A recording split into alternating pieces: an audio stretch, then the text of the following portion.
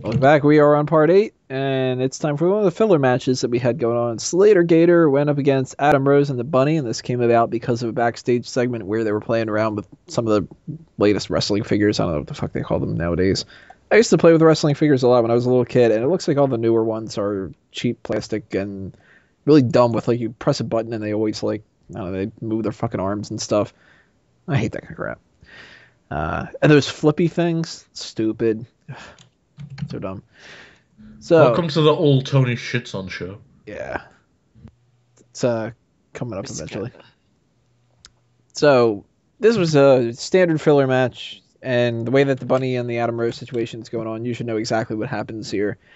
So no surprises, and I was disappointed that they didn't do anything with the Bunny, just the same as they didn't do anything with the Bunny again this week on Monday Night Raw. So they're dragging this the fuck out, and it's gonna have no time for it around the Royal Rumble. So they need to jump on this shit now, and if they don't, I mean, not, not that people are really, really giving that much of a shit about the bunny, but they're going to give even less of a shit when we start building up towards the Royal Rumble.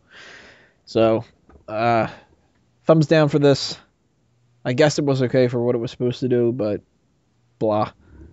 Kind of a low point for me. What do you guys think? Paden? Yep. Drew? I didn't care enough, so yep.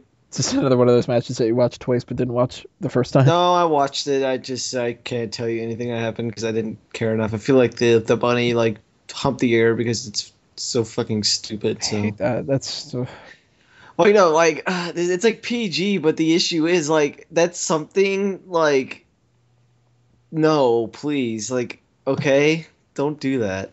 Like I, I had to explain to my girlfriend like what that was, and she was like, What, why the humping? f- no, no, the why, why no, I had to explain no, I had to explain the whole situation with uh, Adam Rose and the bunny, and she's like, so wait, why is the bunny dry So- humping? So you had Is to that- teach her about the birds and the bunnies. Yeah, essentially, and then she's like, why the fuck do you watch wrestling? And I'm like, I have no idea anymore. that It's like would've been a much- imagining, a much imagine more a depressed onion cutting itself.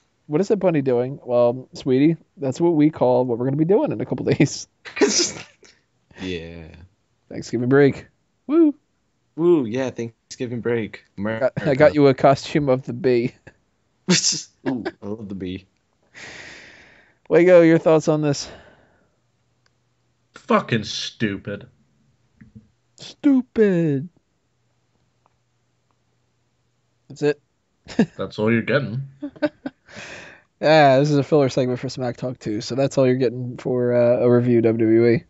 So, uh, next match that we're going to do, another quick thing Divas Championship. So stay tuned.